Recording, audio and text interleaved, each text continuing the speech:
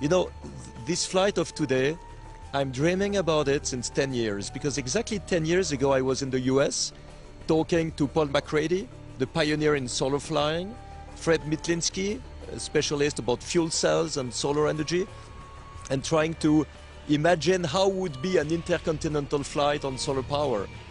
And, and here we are.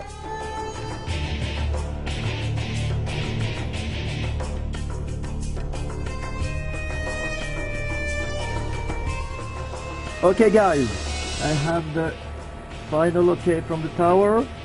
Engines are in docking mode. Ok les gars, j'y vais. Merci à tous.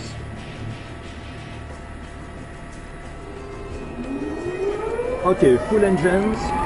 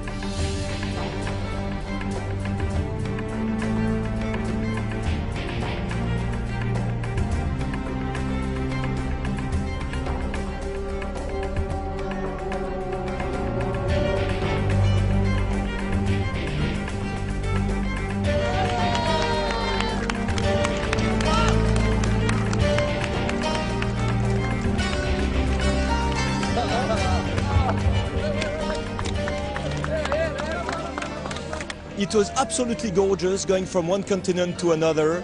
Beautiful moon when I took off, beautiful moon when I landed. I think it could not have been better.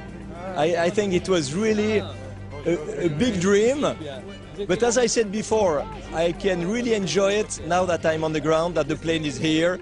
I, I thought the Moroccans would be more disappointed than me if the plane wasn't coming on time.